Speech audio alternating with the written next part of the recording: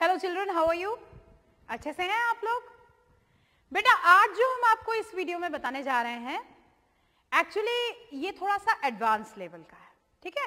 आपको सिर्फ़ ये मालूम होना चाहिए कि ये जो डायरेक्ट स्पीच के वर्ड्स हैं, ये इनडायरेक्ट स्पीच में किस तरह से बदलते हैं, किस तरह से इसमें परिवर्तन आता है। ये आपके लेवल से थोड़ा ज़्यादा हाई है। लेकिन अगर हम इसको नहीं बताएँगे तो नरेशन थोड़ा सा अधूरा लगेगा। इसलिए इसको समझ लीजिए और अगर आपको इससे ज़्यादा जानने की इच्छा होगी तो आप प्रज्ञा काकेर में, उस लिंक को खोल के आप नरेशन पूरा डिटेल में देख पाएँगे। ठीक है?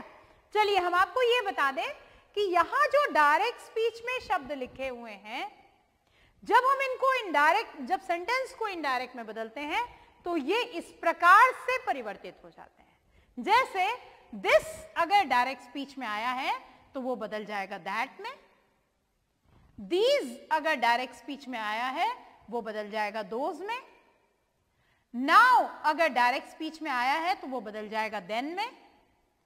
हियर अगर डायरेक्ट स्पीच में आया है तो वो बदल जाएगा देयर में। एगो अगर डायरेक्ट स्पीच में आया है, वो बदल जाएगा बिफोर में। दस अगर डायरेक्ट स्पीच में आया है, वो बदलेगा सो में। टुमारो अगर डायरेक्ट स्पीच में है, आप उसे चेंज कर देंगे द नेक्स्ट डे में। यस्टरडे अगर डायरेक्ट स्पीच में है, वो चेंज हो जाएगा द डे बिफोर में। लास्ट नाइट डायरेक्ट स्पीच में है इनडायरेक्ट स्पीच में आप द नाइट बिफोर में चेंज कर देंगे। नेक्स्ट वीक अगर डायरेक्ट स्पीच में है, आप उसे चेंज कर देंगे द फॉलोइंग वीक में। नेक्स्ट ईयर अगर डायरेक्ट स्पीच में है, वो चेंज हो जाएगा द फॉलोइंग ईयर समझ में आया आपको? जैसे, कुछ एग्जाम्पल्स मैं आपको बताती हूँ. Rekha said this is my book ठीक है?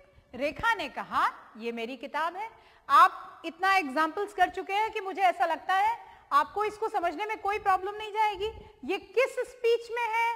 कौन से नरेशन में है?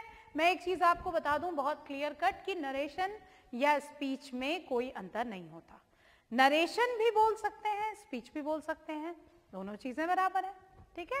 तो यहाँ हमने डायरेक्ट स्पीच लिखा है, इसका मतलब ये डायरेक्ट नरेशन और यहाँ इनडायरेक्ट स्पीच लिखा है, इसका मतलब ये इनडायरेक्ट नरेशन है। समझ में आ गया? चलिए, अब जैसे ये सेंटेंस है, Rekha said this is my book अब आपको मैं बोलूँ कि आप इस सेंटेंस को इनडायरेक्ट नरेशन या इनडायरेक्ट स्पीच में बदलें तो आप कैसे बदलेंगे? रेखा सेट दैट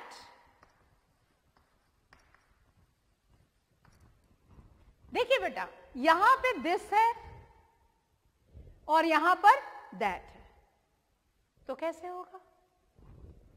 दिस को आप किसमें चेंज करेंगे? That that was her book की? वह. ये बोलेंगे डबल दैट आ रहा है? तो ये इस दैट का मतलब है कि, इसका मतलब है वह. रेखा ने कहा कि वह उसकी किताब थी। माई बुक की जगह क्या आ गया? हर बुक उसी तरह से Sheena said these are beautiful flowers. बनाइए, कैसे बनेगा? शीना सेड दैट दीज की जगह क्या आ जाएगा? Those those were beautiful flowers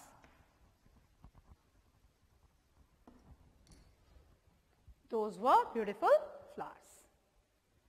हमने दीज को क्या कर दिया? दोज में बाकी, आपको मैंने ऑलरेडी बताया कि जितने इज़ एम आर हैं, जब यहाँ पर सेड है, यानी सेड कहने का मतलब ये कि पास्ट टेंस है। ठीक है?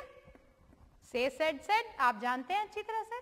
जब यहाँ पास्ट टेंस है तो आप डायरेक्ट स्पीच से इनडायरेक्ट स्पीच में बदलेंगे तो जितना भी आप प्रेजेंट के वर्ब्स देख रहे हैं, जैसे ये इस था, ये वॉज़ हो गया आर है वर हो गया, ठीक है? इसको आप चेंज करते चले जाएँगे। इसी तरह से the teacher said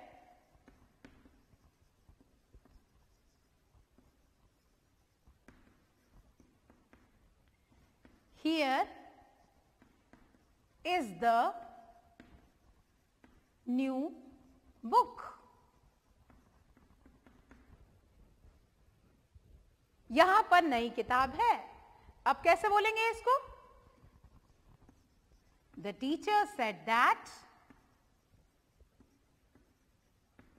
here किसमें चेंज हो जाएगा? देयर में। That there was the new book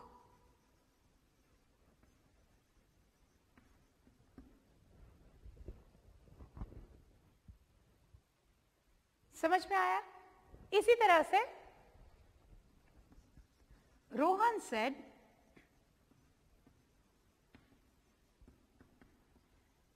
I am going now मैं अब जा रहा हूँ। Rohan said that I am की जगह क्या आ जाएगा? ही वॉज़ गोइंग नाउ किसमें बदल जाएगा? Then he was going then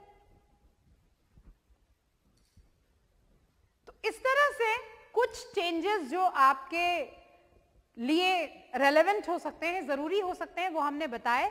ये सारे चेंज होते हैं, लेकिन अभी वो लेवल आपका नहीं है।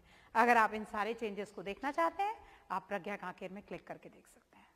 चलिए आइए, हम बात करेंगे लेट्स डू इट पे। यहाँ पे आपको हम कुछ सेंटेंसेस दे रहे हैं, ये इन्हीं वाक्यों को आपको चेंज भी करना है और इन्हीं वाक्यों को आपको बोलना भी है। Let's do it let's speak मिलती जुलती एक्सरसाइजेस हैं, एक ही साथ आप करेंगे।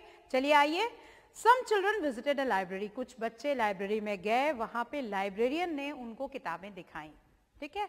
और ये जो कॉन्वर्सेशन हम आपको बता रहे हैं ये बच्चों और लाइब्रेरियन के बीच में हुआ है।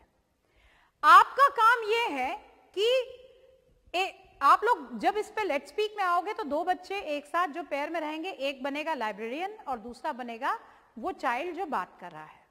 पहले आप इसको जल्दी से नरेशन इसका चेंज करो उसके बाद इसी को आपको बोलना है। चलिए आइए, पहले एक्सरसाइज समझ लें। Librarian said these are story books मैं पहला आपको बता देती हूँ librarian said these are story books अब आपको इसको किस तरह से बोलना पड़ेगा इनडायरेक्ट स्पीच में? लाइब्रेरियन सेट दैट दीज किसमें चेंज होता है? देखिए दोज में दोज व स्टोरी बुक्स इसी तरह से Raksha said I like the blue book librarian said this is a book of poems Nitin said I want a novel librarian said here is the novel Prakash said I want to read a story book I I want to read a short story now ठीक है? अब करना यह है आपको कि पहले तो इनको आप इनडायरेक्ट स्पीच में बदल लीजिए उसके बाद पेयर में आ जाइए। पेयर में आने के बाद एक बच्चे का रोल रहेगा लाइब्रेरियन का वो अपना पार्ट बोलेगा। डायरेक्ट स्पीच में और इनडायरेक्ट स्पीच में। दूसरा पार्ट रहेगा स्टूडेंट का पार्टनर का, वो अपने पार्ट को डायरेक्ट और इनडायरेक्ट में बोलेगा। तो पहले इसको बनाइए, इसको सारे को आप सॉल्व कीजिए डायरेक्ट से इनडायरेक्ट में बदलिए, उसके बाद उसको आपको पढ़ के सुनाना है। रेडी और जब तक कि लास्ट स्टूडेंट तक ये काम नहीं हो जाता, तब तक आपकी क्लास खत्म नहीं होगी। तैयार हो जाइए पहले नोट कीजिए और उसके बाद आप उसको पढ़ के बोलेंगे। हम मिलते हैं आपसे नेक्स्ट वीडियो में।